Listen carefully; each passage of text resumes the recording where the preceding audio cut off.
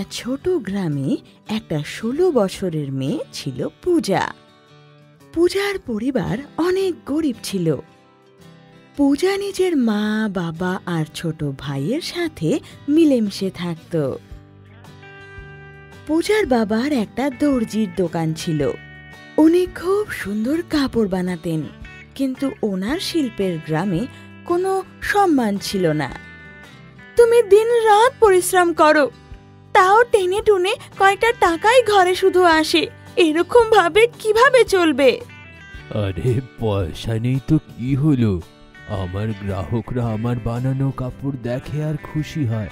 এইটাই আমার জন্য অনেক। হ্যাঁ বাবা তুমি একদম ঠিক বলছো। তোমার মতো কাপড় কেউ বানাতে পারে না। যেমন বাবা তেমন মেয়ে। মা নিজের মেয়ের উজ্জ্বল ভবিষ্যতের স্বপ্ন দেখছিল। আর এরকম ভাবেই দিন কেটে যাচ্ছিল। একদিন হঠাৎ গ্রামের মহলের সৈন্য ঢাক বাজাতে বাজাতে একটা গুরুত্বপূর্ণ বার্তা দিতে আসে। শোনো শোনো শোনো, দুদিন পরে একটা মহলে ভোজ আয়োজন হচ্ছে। আমাদের রাজার রাজকুমার পরশুদিন আঠেরো বছরের হয়ে যাবে। মহারাজ আর মহারানী এই বিশেষ সময় রাজ্যের প্রত্যেকটা লোকের জন্যে উৎসব আয়োজন করেছে। সব লোকেরা মহলের ভেতরে যাওয়ার অনুমতি পাবে। ভালো ভালো খাবার হবে আর সবাই ভালো ভালো তামাশা দেখতে পারবে। গ্রামের সব লোকেরা এই খবর শুনে খুশিতে নাচতে থাকে। আরে বা মহলে উৎসব। আমি তো অনেকগুলো মিষ্টি খাব। মিষ্টি আমি তো ভাতও খাব। হ্যাঁ হ্যাঁ আমিও। আমার মা আমার জন্য একটা ভালো শেরওয়ানিও নিয়ে এসেছে। আমি সেটাই পরে উৎসবে যাব। বাকি বাচ্চারা আর বড়রা একদিকে যেমন খুশিতে নিজের কাপড়ের চর্চা করছিল অন্যদিকে পূজা চুপচাপ দাঁড়িয়েছিল। আরে পূজা তুমি তো কিছুই বলছো না। আমি কি বলব? যা খুশি তুমি উৎসবে কি হুম, আমি? পূজা যখন সব বাচ্চাদের হাসতে দেখল তখন ওর মন খুব খারাপ হয়ে গেল আর বাড়ি ফিরে এলো। মা বাবা আমার তোমাদের কিছু বলার আছে। বলো পূজা মা কি ব্যাপার? আমি কাল উৎসবে যাব না। কি? কিন্তু কিসের জন্য পূজা? কিচ্ছু না শুধু আমার ভালো লাগছে না। এরকম বলে পূজা নিজের ঘরে চলে যায়। আরে এই মেয়েটার হঠাৎ কি হয়ে গেল? মনে হয় ওর পুরনো কাপড়ের জন্য হয়তো লজ্জা লাগছে। সারা রাত কেঁদে পূজা তারপর ঘুমিয়ে পড়ে। পরের দিন সকাল হওয়ার পর পূজা বাড়ি থেকে বেরিয়ে পাশের বাগানে বসেছিল। এই বাগানেই আমি একমাত্র শান্তি পাই। এইখানকার গাছ পাখিরা আমার খেললি করে না। এরাই আমার সব থেকে ভালো বন্ধু। কিছুক্ষণ গাছ পাখিদের সাথে খেলা করার পর পূজার ঘুম পেয়ে যায় আর ওখানে গাছের নিচে ঘুমিয়ে পড়ে। আরে, আমি এখন রাজমহলের উৎসবে কীভাবে যাব? আমার কাছে তো ভালো কাপড়ও নেই। পূজাকে ঘুমের মধ্যেই কথা বলতে শুনে আমের গাছ ওকে ডাক দেয়। পূজা মা মন খারাপ করো না আমি তোমায় সাহায্য করব। কে- কে- এখানে? আমি মা আমের গাছ একটু উপরে দেখো। আরে তুমি কথা বলতে পারো? হ্যাঁ পূজা গাছপালা পশু জীবজন্তু সবাই কথা বলতে পারে কিন্তু আমাদের কথা তারাই শুনতে পারবে যাদের মন পরিষ্কার। কিন্তু মা এই বাগানে একটা পরী থাকতো। সে আমাদের একটা বর দিয়েছিল যে আমরা একে অপরের সঙ্গে মানুষের ভাষাতে কথা বলতে পারব। আর আমি তোমার কথা শুনে ফেলেছি। তুমি যদি চাও আমি তোমার সাহায্য করতে পারি মা। তুমি? কিন্তু কীভাবে? শুধু আমি না আমার সঙ্গে সঙ্গে বাকি পশু পাখিরা এবং গাছপালারাও তোমার সাহায্য করবে। কারণ তুমি আমাদের সকলকে নিজের বন্ধু ভাবো। ও সত্যি? কিন্তু তুমি কীভাবে আমার সাহায্য করবে? কাল মহলের রাজকুমারের জন্মদিনের উৎসব। গ্রামের সব বাচ্চারা ওখানে গিয়ে খুব আনন্দ করবে। কিন্তু আমার কাছে পরার মতো একটাও ভালো কাপড় নেই। তো তুমি কীভাবে আমার সাহায্য করবে? এরকম বলতে বলতে পূজা কেঁদে ফেলে। তখনই পাশে থাকা গোলাপ ফুলের গাছ ওকে ডেকে বলে পূজা কাঁদছো কেন? আমরা আছি তো। আশেপাশে একটু চোখ বুলিয়ে তো দেখো। পূজা নিজের আশেপাশে দেখল তো পুরো বাগানটা নানা রকম গাছপাতায় ভরা ছিল। তুমি আমাদের গাছপালার এবং পশু পাখিদের পালক আর পাপড়ি নিয়ে ঘরে যাও আর বাবাকে বলো এই সবগুলো জিনিস দিয়ে তোমার জন্য একটা সুন্দর ড্রেস বানা সত্যি? তুমি আমার জন্য এত কিছু করবে? তোমাদের এতে কষ্ট হবে না? মা তুমি যদি একটু ভালোবাসা দিয়ে ভাঙো তাহলে কিচ্ছু হবে না। আসলে একটা বন্ধুই বন্ধুকে সাহায্য করে। ঠিক আছে। পূজা তারপর আস্তে আস্তে সব গাছপাতা থেকে কিছু পাতা ছিঁড়ল। তারপর একটা সুন্দর ময়ূরকে নিজের পাখনাটাও দিল। পূজা এসব নিয়ে নিজের বাবার কাছে গেল। বাবা এই দেখো আমি তোমার জন্য কি নিয়ে এসেছি? এইসব কি মা? এই সব আমি পাশের বাগান থেকে এনেছি। এই সব দিয়ে তুমি কি আমার জন্য একটা ড্রেস বানাতে পারবে? ড্রেস? কিন্তু যদি তুমি আমার জন্য একটা সুন্দর ড্রেস বানিয়ে দাও তাহলে আমিও রাজকুমারের জন্মদিনে যেতে পারব। পূজার কথা শুনে ওর বাবা এদিক ওদিক দেখতে লাগল। পূজা মা আমি কথা তো দিতে পারছি না কিন্তু হ্যাঁ চেষ্টা আমি নিশ্চয় করব। তারপর পুরনো কাপড়ের কিছু ছোট ছোট টুকরো ওঠালো আর কাজে লেগে গেল। পূজার বাবা ওর জন্য একটা অসাধারণ ড্রেস বানালো, যেটা দেখে পূজা ভীষণ খুশি হয়ে গেল। বাহ, বাবা! এটা তো দারুণ হয়েছে! আমি এটা আমার বন্ধুদের দেখে আসি। পূজা নিজের নতুন ড্রেসটা পরলো আর বাগানের সব বন্ধুদের ধন্যবাদ জানালো। আর পরের দিন ও সেই নতুন ড্রেস পরে মহলের দিকে এগিয়ে গেল। আরে বা চিন্টু তুই তো বেশ সুন্দর দেখতে লাগছিস রে। তোমার ওই নতুন জামাটা খুব ভালো হয়েছে বাবলু। পূজাকে নানা রঙের চকচকে কাপড় পরে মহলে আসতে দেখে সব ছেলে আর মেয়েরা অবাক হয়ে যায়। পূজা নতুন ড্রেসে কোনো রাজকুমারীর থেকে কম লাগছিল না। কিছুক্ষণ পর যখন মহারাজ আর মহারানী মহলের বাইরে এলো তারা বলল আপনাদের সকলকে আমার ধন্যবাদ। আপনারা সকলে এখানে এসেছেন আমি খুবই খুশি হলাম। আজ আমার ছেলের জন্মদিন। আজ আমি এখানে সব থেকে সুন্দর যে দেখতে লাগবে তাকে নিজের হাতে পুরস্কার দেব। সব ছেলে আর মেয়ে একটা লাইনে দাঁড়িয়ে গেল। তারপর মহারাজ আর মহারানী এক এক করে সবার কাছে গেল। আরে বাহ তোমার ড্রেসটা তো বেশ সুন্দর দেখতে লাগছে। কে তুমি? আর এত সুন্দর ড্রেসটা কোথায় থেকে এনেছো? আমি পূজা গ্রামের দর্জির মেয়ে। এই ড্রেসটা বাবা নিজের হাতে আমার জন্য বানিয়েছে। এখানে আসো মা তুমি আমাদের সাথে এখানে বসো। তোমার বাবা তোমার জন্য অসাধারণ ড্রেস বানিয়েছে। ধন্যবাদ মহারানী। কিন্তু আমাকে ক্ষমা করবেন। আমি এখানে আমার সব বন্ধুদের সাথেই বসতে চাই। না হলে ওদের খারাপ লাগবে। তোমাকে খুব সুন্দর দেখাচ্ছে আর তোমার মনটাও পরিষ্কার। তোমার সরল স্বভাব দেখে আমি খুব খুশি হয়েছি আর তোমাকে পুরস্কার দিতে চাই। পূজার কথা শুনে সব বাচ্চাদের লজ্জা লাগল। আর তারা সবাই পূজার কাছে ক্ষমা চাইল। তো বন্ধুরা, এইভাবে আমরা দেখতে পেলাম যে যদি কারোর মন খুব সুন্দর হয়, তাহলে তার সুন্দরতা হাজার চেষ্টার পরেও লুকানো যায় না। এক গ্রামে ভোলি আর ভরি নামের দুজন ফল বিক্রেতা থাকত।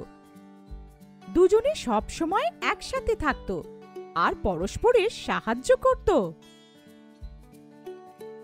চলো চলো, তাড়াতাড়ি করো। ফল বিক্রি করতে যাবে না? হ্যাঁ হ্যাঁ আসছি। ভুরি, আজকে দেরি করে দিলি। বাজারে ফল বিক্রি করবি না?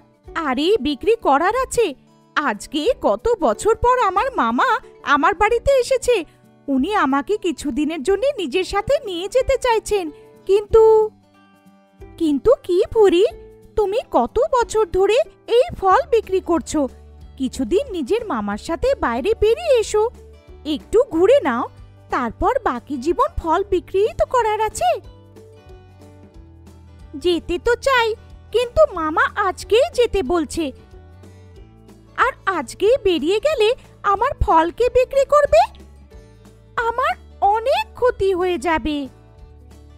শুধু এইটুকু কথা? তবে আগে বললে না কেন? আমি এক কাজ করি আমি নিজের ফলের সাথে সাথে তোমার ফলও বিক্রি করে দেব। আর যখন সব ফল বিক্রি হয়ে যাবে, তখন আমি তোমার ঝুড়ি তোমার ঘরে রেখে দেব। এইভাবে তোমার ফলও নষ্ট হবে না, আর তুমিও নিশ্চিন্তে তোমার মামার সাথে যেতে পারবে। সত্যি বলি, তুমি আমার সত্যিকারের বন্ধু। এই নাও ফলের ঝুড়ি। চেষ্টা করবে যে এগুলো ভালো দামে বিক্রি হতে পারে। যত হলেও আমাকে ফিরে এসে নিজের ঘরের ভাড়া ভরার আছে। ভুরি, তুমি চিন্তা করো না, আমি তোমাকে ভালো দাম পাইয়ে দেব। ভুলির কথা শুনে ভুরি খুশি খুশি নিজের মামার সাথে ঘুরতে বেরিয়ে যায়। ভুরির যাবার পরে ভোলে নিজের প্রতিবেশী রুকুর সাথে ফল বিক্রি করার জন্য চলে যায়। রুকি অনেক চতুর ছিল ও কখনো কারোর ভালো হোক সেটা চাইতো না, কিন্তু প্রতিবেশী হবার কারণে ভলি সেটা উপেক্ষা করতে পারত না। কিছুক্ষণ হাঁটার পর, আরে ভলি, চলো আমি তোমার সাহায্য করি। তুমি তোমার ফল বিক্রি করার জন্য পরিশ্রম করো বুড়ির ফলের ঝুড়ি আমাকে দিয়ে দাও। না না, রুকু, না না, ভুড়ির ঝুড়ির দায়িত্ব আমার। আমি সেটা ভালো দামে বিক্রি করব। তুমি কত সরল। কেন?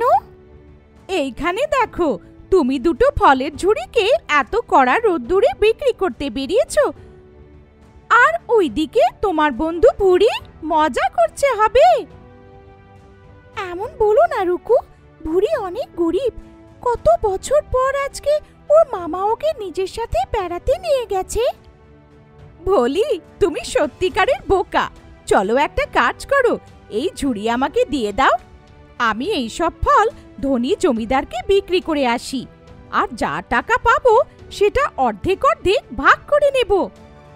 রুকুর কথা শুনে ভোলির মনে লোভ চলে আসে, আর সে ভুড়ির ফলের ভরা ঝুড়ি রুকুকে দিয়ে দেয়। ঠিক বলছো তুমি, ভোলি। রুকুর কথা শুনে ভোলি, ফলের ঝুড়ি ওকে দিয়ে দেয়।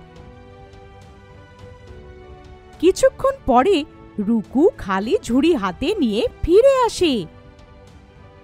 রুকু, তুমি সত্যি সব ফল জমিদারকে বিক্রি করে দিয়েছ? হ্যাঁ তাহলে তো তুমি অনেক টাকা পেয়ে থাকবে। হ্যাঁ যত হলেও জমিদার কিনেছে। তবে তাও আমার ভাগ। কিসের ভাগ? রুকু, এই ঝুড়ি বুড়ির আমি তোমাকে ফল বিক্রি করার জন্য দিয়েছিলাম। না এ ফল তোমার আর না এই ঝুড়ি। এখন এই সব আমার। আর যদি তুমি কাউকে কিছু বলেছ, তাহলে আমি সবাইকে বলে দেব যে তুমি ভুড়ির ঝুড়ি চুরি করেছ। রুকুর কথা শুনে ভোলির খুব আফসোস হয়। আরও চুপচাপ গ্রাম ছেড়ে চলে যায়। কিছুদিন পর যখন ভুড়ি ফিরে আসে, তো সে ভোলিকে সব জায়গায় খোঁজে, কিন্তু সে কোথাও খুঁজে পায় না। তখন সে রুকুকেও জিজ্ঞেস করে, কিন্তু রুকু কোনো উত্তর দেয় না। টাকা না থাকার কারণে ভুড়িকেও নিজের ঘর ছাড়তে হয়। আরও জঙ্গলে ঘুরতে থাকে। কিছুক্ষণ জঙ্গলে হাঁটতে হাঁটতে ও একটি গাছের তলায় ঘুমিয়ে পড়ে। তখন সে দেখে যে গাছের ওপর একটি ছোট্ট ঝুড়ি রাখা আছে। ঝুড়িকে দেখে ভুড়ি ভাবে, এই ছোট্ট ঝুড়ি আমার অনেক কাজে আসতে পারে। আমি এই জঙ্গল থেকে কিছু ফল নিয়ে যাই আর বাজারে বিক্রি করি। তারপর যা টাকা পাবো সেটা দিয়ে আমি আমার জীবন কাটাবো। ভুড়ি জঙ্গল থেকে কিছু ফল তোলে আর বাজারের দিকে চলে যায়। বাজারে গিয়ে সে নিজের ফল বিক্রি করা শুরু করে। তো লোকের ভিড় জমা হয়ে যায়। আর দেখতেই দেখতে ওর সব ফল বিক্রি শেষ হয়ে যায়। বাহ, আমার ঝুড়ি তো শেষ হয়ে গেল। যদি আরও কিছু ফল থাকতো, তাহলে আমি আরও কিছু টাকা রোজগার করতে পারতাম। তাহলে একবার আবার আমার মাথার উপরে ছাদ থাকতো। ভুরি যেই মনে মনে এইসব ভাবে ওর ঝুড়ি ফল দিয়ে ভরে যায়। ভুড়ি এইসব দেখে অবাক হয়ে যায়। আরও খুশি খুশি নিজের ফল বিক্রি করা শুরু করে দেয়। এই ফলও তাড়াতাড়ি বিক্রি হয়ে যায় আর ঝুড়ি আবার ভরে যায়। এখন আমার ঝুড়ি তিনবার ভরে গেছে আমার লোভ করতে নেই। আমি আবার কালকে ফল বিক্রি করব। ভুড়ি প্রতিদিন ফল বিক্রি করত আর টাকা সঞ্চয় করত। নিজের জন্য একটা বড় ঘর কিনে। কিন্তু ও সব সময় নিজের আয়ের এক ভাগ গরিবের মধ্যে বিতরণ করে দিত। একদিন ও গরিব লোকেদের খাবার বিতরণ করছিল। তখন সে দেখে যে ভলিও সেখানে দাঁড়িয়ে আছে। ভুড়িকে দেখে ভলি নিজের চোখ তলায় করে নেয় আর লজ্জা পেয়ে সেখান থেকে যাচ্ছিলই তখন। আরে ভলি কোথায় যাচ্ছ? আমি তোমাকে কোথায় না কোথায় খুঁজেছি? ভুরি আমাকে ক্ষমা করে দাও। আমি লোভে পড়ে তোমার ক্ষতি করার চেষ্টা করেছিলাম কিন্তু দেখো আজ আমারও জীবিকা আমার থেকে কেড়ে নেওয়া হয়েছে। কিন্তু কি হয়েছে? ভোলি ভুরিকে সব কথা জানায়। প্রথমে ভুরি অনেক রেগে যায় কিন্তু তারপর সে শান্ত হয়ে যায়। বলি তুমি যেটা করেছ সেটা ভুল। কিন্তু শেষ ভালো হলে সব ভালো। তুমি আমার সাথে চলো আর আমার সাথে, আর আমার সাথে জাদু ঝুড়ি দিয়ে ফল বিক্রি করো। যতই হোক, এক বন্ধু আরেক বন্ধুর কাজে আসে। এই গল্পটা রামনগর গ্রামের। ওই গ্রামে রামু নামের একটি পাহারাদার সারা রাত পুরো গ্রামের পাহারা দিত। এমনিতে রামু ভীষণ সাহসী ছিল, কিন্তু ও কথা বলতে গেলে তোতলাতো। যার কারণে গ্রামের বাচ্চারা ওকে ভেঙাতো। রামুর কাছে একটি সিটি আর একটা লাঠি ছিল। যখনই ও পাহারা দিত, জোরে জোরে সিটি বাজাতো আর নিজের লাঠিটাকে মাটিতে জোরে মারতো। জি- জি- জি- জাগতে রহো রামু কাকা আবার এসে গেল। দেখো ফিরে এসেছে। জাগতে রহো আহ, জাগতে রহো যদি আমাদেরই জাগতে হবে তাহলে তুমি কিসের পাহারাদার? রামু বাচ্চাদের উপর বিরক্ত হয়ে নিজের লাঠি নিয়ে ওদের পেছনে ধাওয়া করে। বা- বা- বা- বা- বা- বা- আবার এসে গেছো তোমরা? বিরক্ত করো না যাও না হলে লাঠি দিয়ে মারবো। বাচ্চারা গাছের পেছনে লুকিয়ে যায় আর বলে দ- দ- দ- ধরে তো দেখাও। আর বাচ্চারা ওখান থেকে পালিয়ে যায়। আর রামু নিজের কাজে আবার লেগে যায়। একদিন রামু জঙ্গলের রাস্তা দিয়ে কোথাও একটা যাচ্ছিল। তো দেখে একটা চোর বৃদ্ধ মহিলার গলা থেকে চেন চুরি করে পালানোর চেষ্টা করছিল। আমি একজন অসহায় বৃদ্ধ মহিলা। ছাড়ো আমাকে। ছেড়ে দাও। কিন্তু চোর বৃদ্ধ মহিলাকে ধাক্কা মেরে ফেলে তার চেন নিয়ে পালিয়ে যায়। রামু ওই চোরের পেছনে দৌড়ায়। আর নিজের লাঠি দিয়ে মেরে ওই চোরটাকে ফেলে দেয়। আর বৃদ্ধ মহিলাটার চেন ওর থেকে নিয়ে বৃদ্ধ মহিলাকে ফেরত দিয়ে দেয়। কিন্তু চোরের সাথে লড়াই করার কারণে রামুর লাঠি ভেঙে যায়। বাবা, তোমার অনেক অনেক ধন্যবাদ। তুমি ওই চোরটার সাথে লড়াই করে আমার চেন ফেরত দিলে আমি এক জাদুই বুড়ি। অন্য গ্রাম থেকে আজকেই এসেছি। আমি তোমার কি সাহায্য করতে পারি বলো?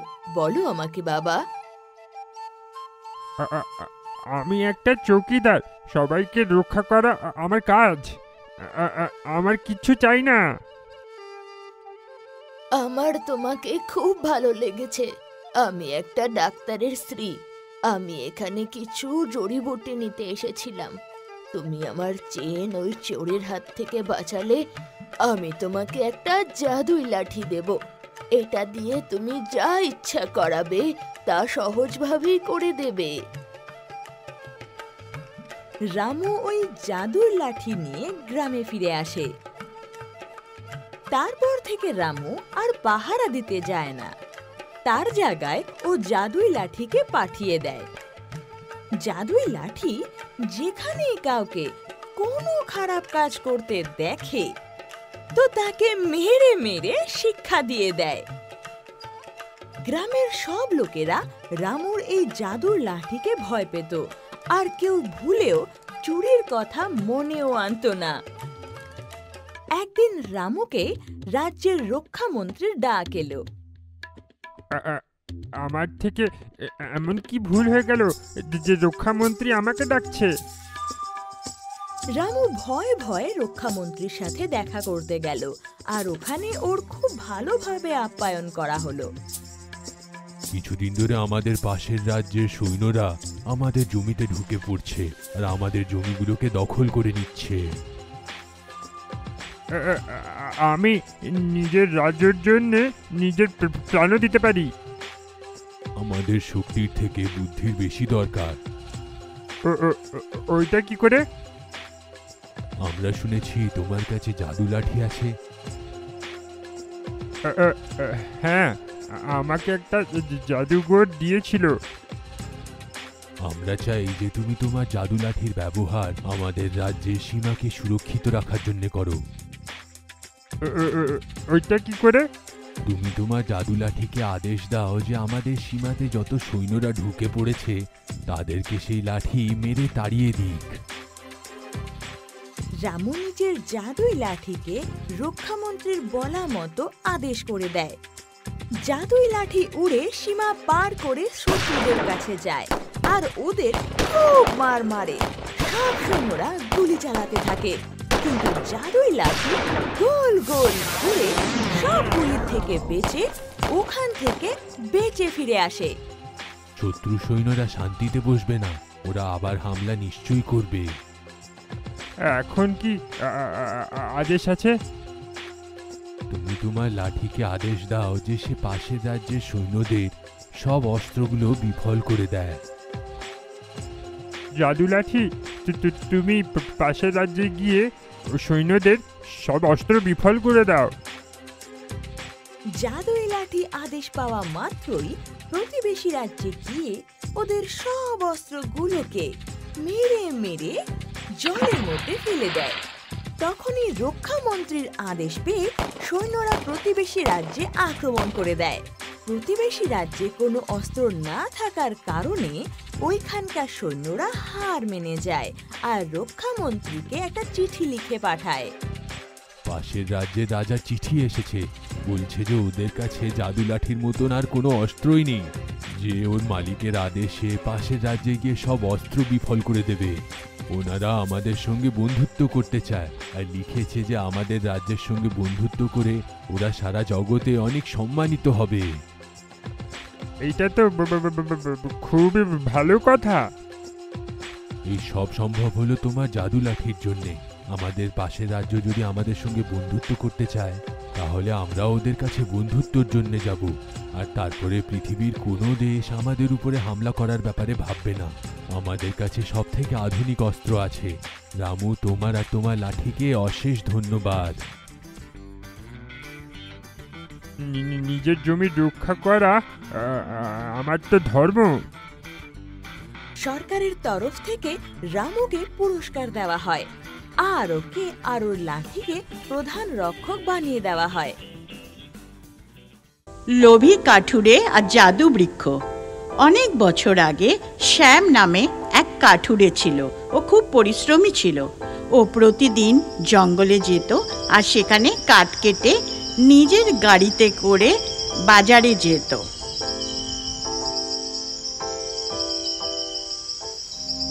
তোমার কাছে সব থেকে ভালো কাঠ থাকে শ্যাম।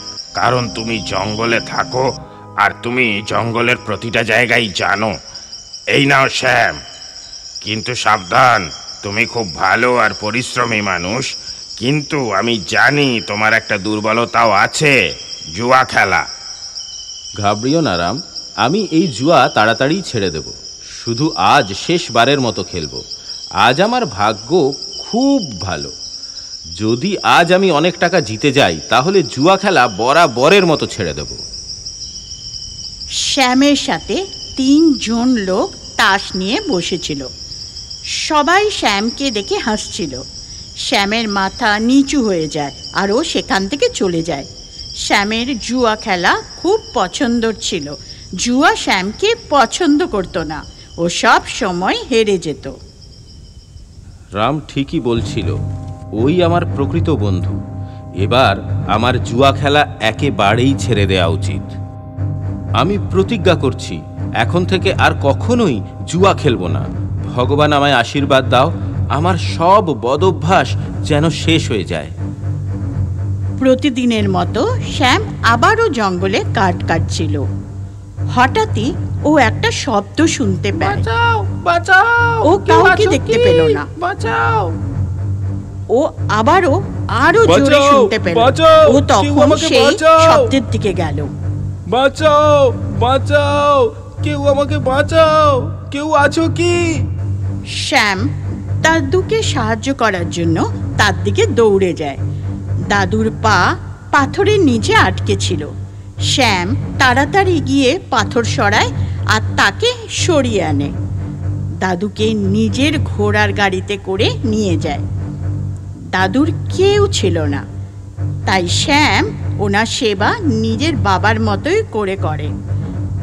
দাদুর শরীর ভালোই হয়ে যায়। ধন্যবাদ শ্যাম, তুমি আমার প্রাণ বাঁচিয়েছ আর আমার সেবাও করেছ। তুমি খুব দয়ালু মানুষ। এটা তো আমার কর্তব্য দাদু।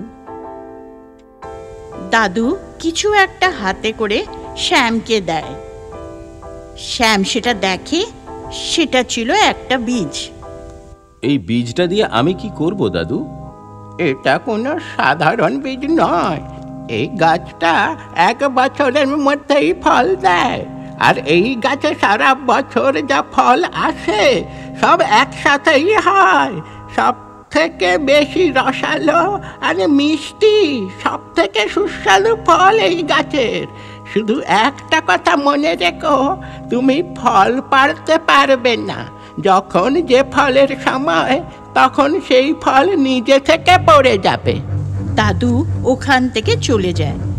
তখন শ্যাম ওর বাগানে গিয়ে বীজটা মাটিতে পুঁতে দেয়।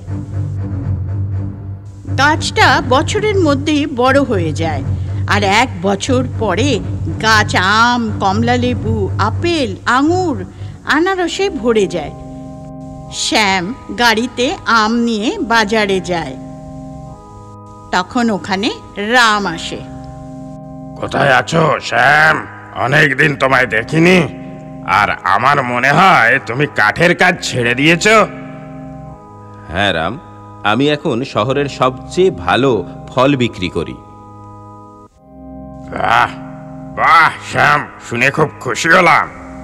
বাড়ি ফেরার পথে শ্যাম ওই জুয়াখানার পাশ দিয়ে যায়। ওর খুব ইচ্ছে ছিল যাবার তবুও ও যায় না।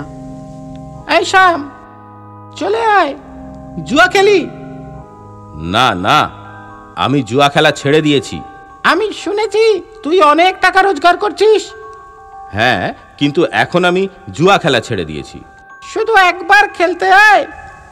শ্যাম তিনটে লোকের সাথে জুয়া খেলা শুরু করে। আজ আমার ভালো দিন। আজ আমি সব জিতে যাব। আজ আমি এক গাড়ি বোঝাই আপেলের শর্ত রাখছি। আপেল? তাও এই গরমে? অসম্ভব।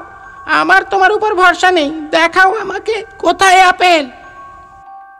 তুমি আমাকে বিশ্বাস করো না? দাঁড়াও আমি এক্ষুনি ফিরে আসছি আবার। শ্যাম গিয়ে আপেল পাড়তে শুরু করে। আজ জেতার পর আমার আর কিছুই চাই না এই ফলও না। শ্যাম আপেল নিয়ে ফিরে যায়। আমি আজ পর্যন্ত এত লাল আপেল দেখিনি এ তো খুবই অমূল্য। চলো খেলি। শ্যাম খুবই খারাপ জুয়ারি ছিল। শ্যাম ফিরে দেখে ওই জাদু গাছটা পুরো শুকিয়ে গেছে। হে ভগবান আমি কেন এত লোভী হলাম? এই লোভের জন্য আমি আমি সব হারালাম।